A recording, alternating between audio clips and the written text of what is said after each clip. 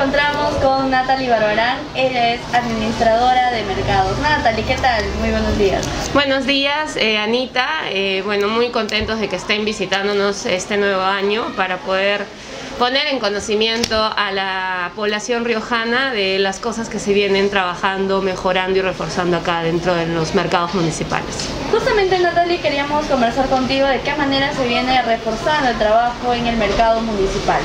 Mira, te comento, igual, igual que el año pasado, eh, bueno, seguimos en esa época de la pandemia, ¿no? Entonces nosotros como trabajadores municipales, como institución municipal, tenemos la obligación de eh, cuidar de cierta manera a nuestros conductores y a nuestros visitantes y acatar también con algunas medidas de prevención ante el COVID que los... Eh, los declara o los, o los exige el Ministerio de Salud, ¿no?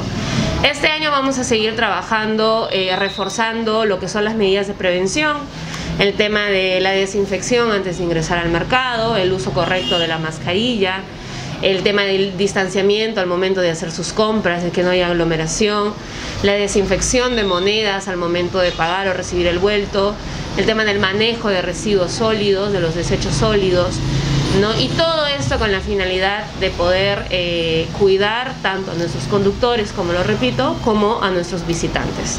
Así es. En este tiempo de pandemia que seguimos, lamentablemente, eh, los conductores de mercados están cumpliendo con los protocolos de bioseguridad?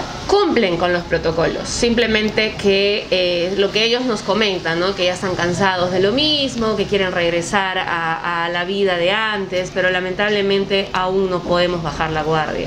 Entonces siempre se les recomienda eh, de que sigan cumpliendo con el uso correcto de la indumentaria, ¿no? Para un bien tanto de ellos como de todos. Los ciudadanos que vienen a comprar sus productos diarios, ¿no? ¿Ellos acatan todas las medidas también o ha habido alguna dificultad? La dificultad es de todos los días, Anita. Eh, tenemos, eh, perdón, tenemos eh, visitantes que si bien es cierto, sí son conscientes de lo que estamos viviendo y acatan las medidas y no hay ningún problema. Pero también tenemos visitantes que hasta incluso quieren entrar hasta sin mascarilla ahora, ¿no? Entonces siempre tenemos una discrepancia con ellos, no les dejamos entrar, ¿no? Incluso les podemos facilitar una mascarilla para que ingresen, pero tampoco podemos este, dejar que, que pasen como si no hubiera pandemia, ¿no? Claro. Por último, ¿qué mensaje le darías a la población que te escucha? Bueno, a toda la población riojana quisiera recomendarles que no bajen la guardia. Estamos todavía en un momento difícil. Los contagios ahora eh, se están aumentando. Les recomiendo que cuando vengan tanto al mercado central como al mercado zonal, por favor usen correctamente su mascarilla, respeten a los trabajadores que están cumpliendo con la función de cuidarlos mantengan su distanciamiento para que así su visita sea lo más agradable y saludable posible. Perfecto, gracias. Gracias.